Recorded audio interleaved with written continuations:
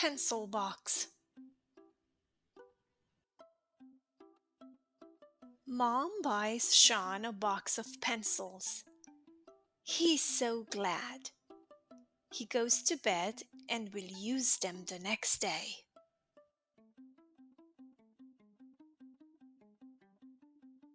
But the pencils in the box are scared. I don't want to get out of the box, says the red pencil. Come on, Sean is in bed. It is safe to come out, says the blue pencil. They are still scared, but they get out of the box.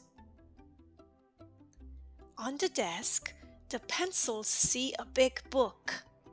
It is full of things that Sean has drawn but they have no color.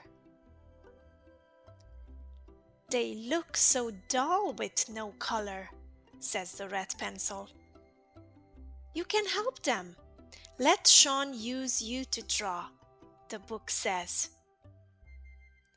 The pencils were not scared.